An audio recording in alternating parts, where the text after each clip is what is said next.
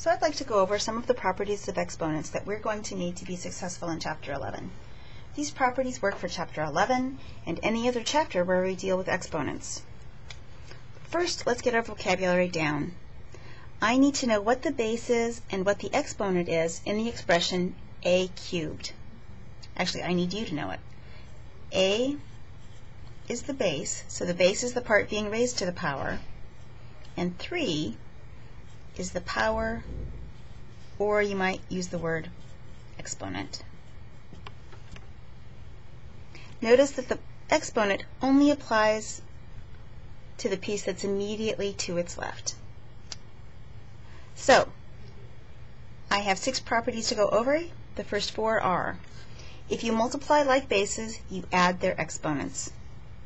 So if I have a cubed times a squared the bases are like, they're both a's. To get the final result, I add the exponents. 3 plus 2 is 5. If you divide like bases,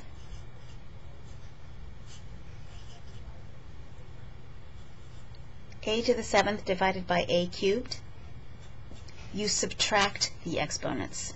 Again, a and a, they're like bases, so subtracting the exponents, a to the 7 minus 3, a to the fourth. Powers to powers. The square applies to the parentheses. What happens is I multiply the 2 times a to the 6.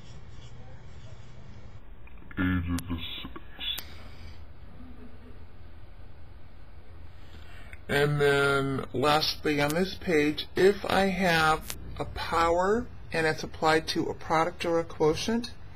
So up here I said that the 3, the power, only applies to what's immediately to its left unless you put it in parentheses. So if I have a product, A times B, and that's to the fourth, that 4 can pop in and apply to both pieces. A to the fourth times b to the fourth. It also works for a quotient. So if I would have a over b to the third, I can rewrite that as a to the third divided by b to the third. Be very careful with your notation at this point. Notice that I've tried and I'm using a marker so it's a little bit harder. The 5 is a power. It is not the same thing as 5 times a. The 4 is an exponent not the same thing as 4 times a. So make sure that you can tell on your writing if it's an exponent or if it's a coefficient. So the other two properties that we need to deal with are if you have a negative exponent and if you have a zero power. So negative powers, x to the negative n. The way we do with, deal with negative signs and exponents is I think of them as tickets across the division line. So x to the negative n is the same thing as 1 over x to the positive n. As it goes from the top to the bottom, and if you don't see the bottom, go ahead and stick a 1 under x to the negative n. The x travels across, and it gives up its ticket, and now it's x to the positive n. If you do that with numbers, so 5 to the negative 2, 1 over 5 to the positive 2, notice it doesn't change the sign of the 1 fifth, it just, you change the sign of the 2 when it goes across, and then 5 squared if you would have a fraction, 2 thirds to the negative third, it flips the entire fraction. 3 halves to the positive third. Everybody moved across, going from bottom to top or top to bottom.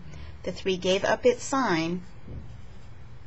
Now I'd have 3 cubed divided by 2 cubed to get 27 eighths. Is a simplified. Last property is the zero power, and it looks like this. a to the 0 equals 1 for all numbers except, and I'll put this in parentheses, maybe 0.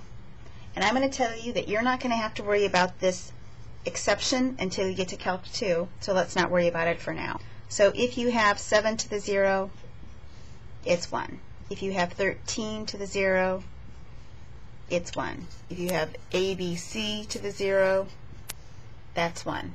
The only time I want you to be careful, ready?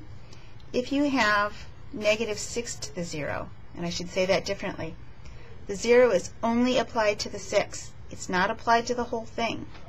So you would do the exponent first. Remember your order of operations. 6 to the 0 is 1, and then you apply the negative sign. So this is negative 1 as opposed to the whole number negative 6 in parentheses to the 0. This is positive 1.